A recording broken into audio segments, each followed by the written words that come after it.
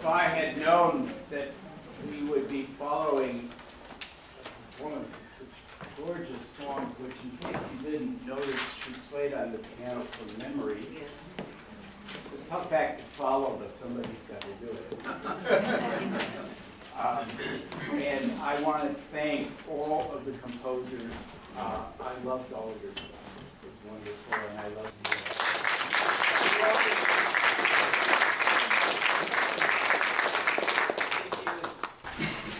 The composer's dream to perform their music in front of a supportive audience. So give the audience. This is our fourth annual Composer Members Concert, which was an idea of Brian Hunter. I give him full credit for getting this started. And I'm happy to have served before and again today as the chair that sort of brought it all together, but the only notes I can take credit for are the ones you're about to hear. Um, This happened because my good friend Ilsa Gilbert and I happened to be in a workshop one day and she read a poem. And I had been listening to some of her poetry in the past, and I heard this one, I thought, got an interesting atmosphere. I think I could do something with that. Would you let me? And she said, sure. And I did, and she has approved of what I've done, which is fortunate. Um, and it's uh, interesting to me because I wound up composing for two instruments I've never composed for before, guitar and conga drums. And I have a wonderful group of people to realize this, so it, it should be fun. Anyway, thank you.